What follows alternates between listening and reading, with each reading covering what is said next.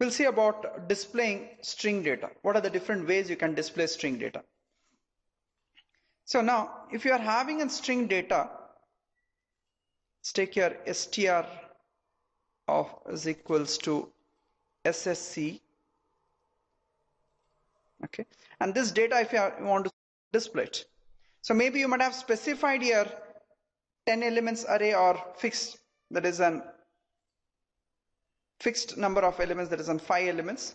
Here I have declared as an 10 elements array.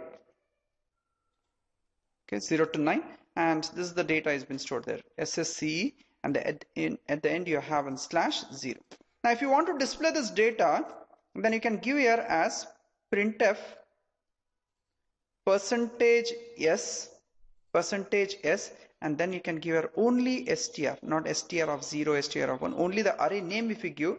It will start displaying from the first index number that is an 0 keep on displaying till it comes across slash 0 it stops at the slash 0 it will not display all the 10 characters. It starts from first location till it comes across an slash 0 so for displaying the data you have a format called as a percentage s. Second way of displaying is there is another function that is an puts through which you can display the data. So you can give it as puts and then give an array name there is an str. Even in this case also it starts displaying from first location till it comes across an slash 0. But slash 0 is not displayed it will display only ssc. If you want you can also display character by character by using an putchar function. So one one character at a time can be put on the screen. So for doing that, you can write a code like this. Declare an array of 10 elements where the data is stored here is SSCE. Okay, the same way the data is stored and for index variable i. So whenever you are going for character by character, then you have to take care of generating an index variable.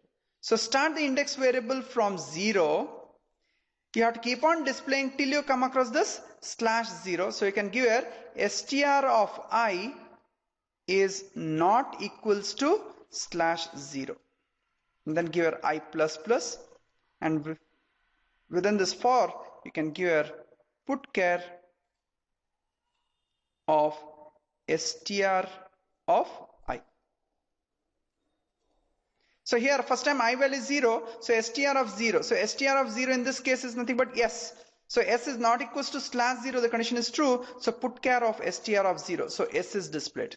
Then again go back i and go back i plus plus. So i value is going to be here 1 so str of 1 so str of 1 is nothing but here s. So s is not equals to slash 0 again true. So putchar str of 1 that is nothing but s is displayed. Again go back i plus plus i is 2 so i plus plus i is 2. So str of 2, str of 2 is c. c is not equal to slash 0 true. str of i is displayed, that is c is displayed. Again go back increment, i value is going to be a 3. So str of 3 is nothing but e is not equal to slash 0. So e is displayed. And again go back i plus plus, this time i is going to be a 4. So now when you when i value is 4, str of 4 is not equal to slash 0, the condition is false because str of 4 here it is nothing but an slash 0. So slash 0 is not equals to slash 0. It comes out of the. So you can display even a string character by character.